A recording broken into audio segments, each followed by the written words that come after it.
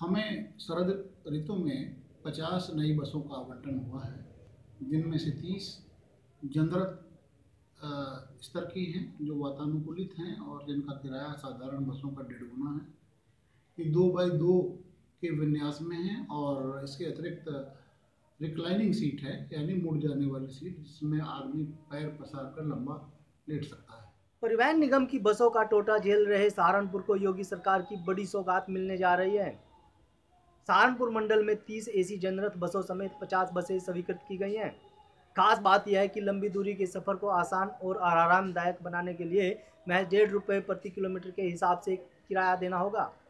ये बसें ना सिर्फ़ पूर्णतः वातानुकूलित होंगी, बल्कि नई तकनीकी से भी लैस की जाएँगी, जिससे सहारनपुर से दिल्ली, लखनऊ, उत्तराखंड, देहरादून और चंडीगढ़ समेत कई राज्यों को जाने वाले यात्री सुविधा अनुसार लेट कर भी सफ़र कर सकेंगे।